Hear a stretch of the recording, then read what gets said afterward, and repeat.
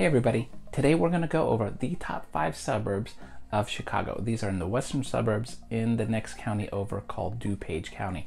According to niche.com, these are the five most desirable towns or cities in DuPage, and you're just a hop, skip, and a jump to Chicago. Welcome to my channel. My name is Kenny Naslund.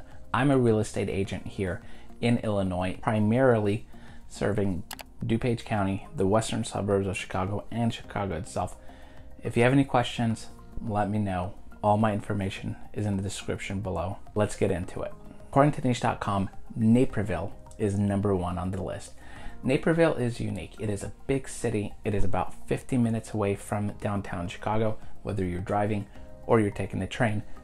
Naperville has two different train stations for your convenience and it is a really nice sized city where it's walkable there's a lot of restaurants there's a lot of nightlife there's it, it's just a great location to be at you'll have fun it's family friendly. It is one of the larger areas of the ones that we're going to be talking about today. Population is roughly 150,000 people in Naperville.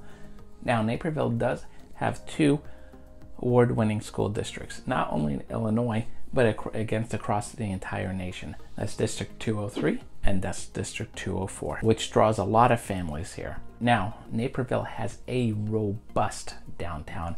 It is full of restaurants and nightlife, and it has a beautiful river walk that you can walk around and really get a nice, relaxing, calm walk if you're looking to de-stress, decompress, or if you want to go shop, you want to go eat, you got all of that all in one place, so you can't go wrong. It's great for families, it's great for individuals, it serves everybody and everyone in the area. Now, besides the downtown area, Naperville has a lot to offer. It has parks, it has walk trails, it has a lot of grocery stores and a lot of ethnic and diverse grocery stores.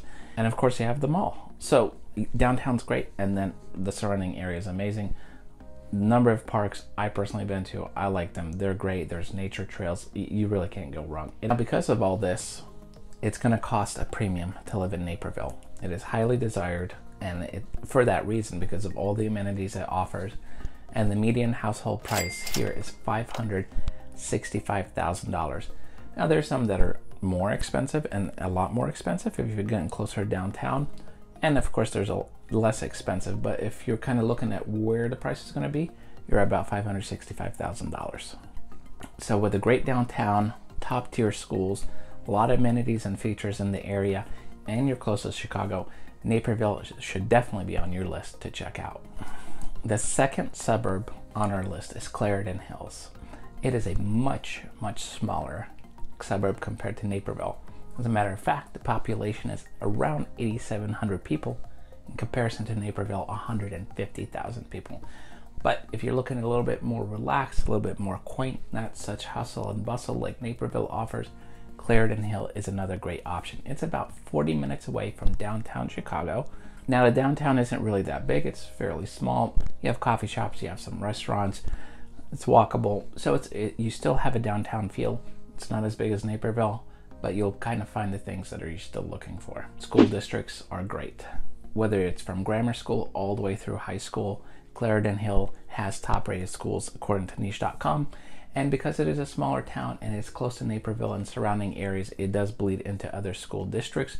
All of them come with a rating anywhere from A to A plus according to niche.com. Household price here is $607,500.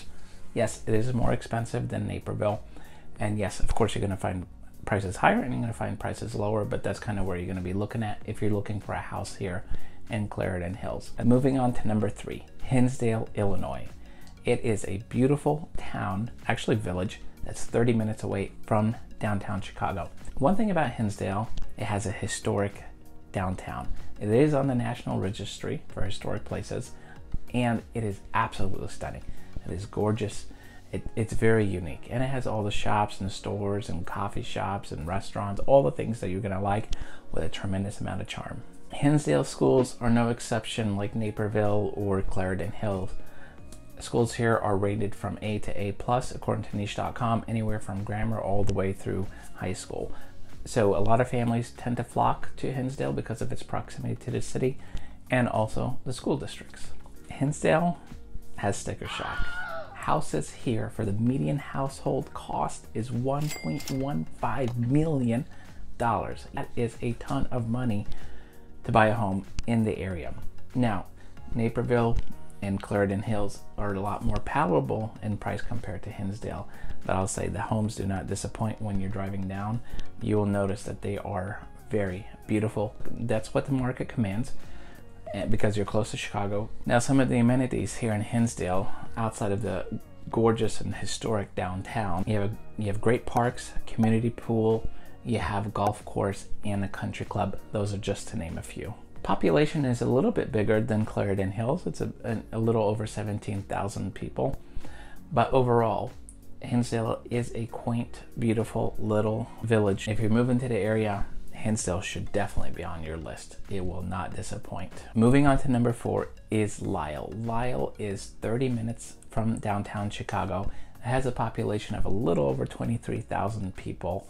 Lisle offers a walkable downtown that has an award-winning Prairie Walk Pond that is four and a half acres, which offers a lit walking trail surrounded by a two acre pond. It's absolutely beautiful and one of those things you definitely want to check out. Now, Lisle schools are no different. They're highly rated, and according to niche.com, they go from A to A plus across the board, and that's from grammar to high school.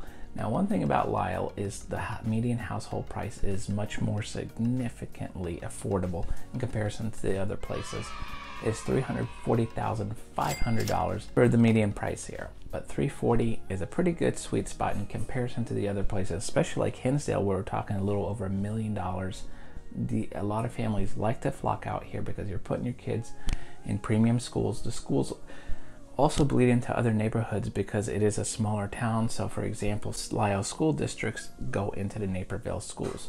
So, you're saving a lot of money. You're not spending over $500,000 to move to Naperville, but your kids could be going into those schools.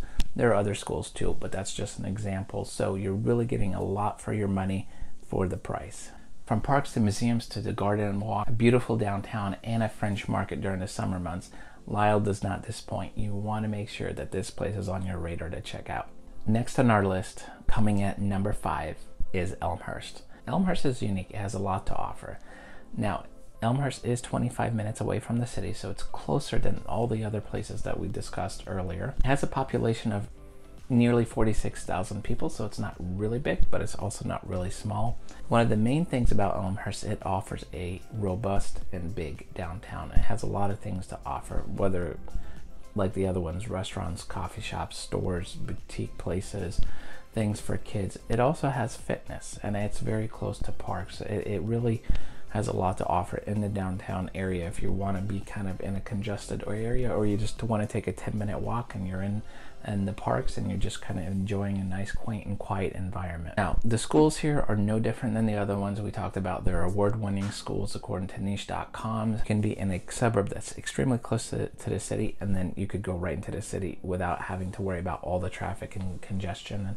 And it, it's just as if it was part of the city or an extension of it if you will. Now you'll be surprised. The median household cost here is 525000 as we talked about earlier you can go price up or you can go price down but that's kind of where you're at. So for that price to be that close to this city and have a lot of the amenities that Elmhurst has to offer, it pulls a lot of people here. Whether you enjoy a symphony orchestra, a history museum, pool, park, skate park, bike paths, trails, Elmhurst has it all. If you like all that and you like a bustling downtown, Elmhurst should definitely be on your list to check out. And make sure to check out the pros and cons video of Naperville, Illinois. If you've gotten any value out of this video so far, would you hit the like and subscribe button? It helps me know that I'm making valuable content for you. And if there's areas that you want me to go over, make sure to let me know.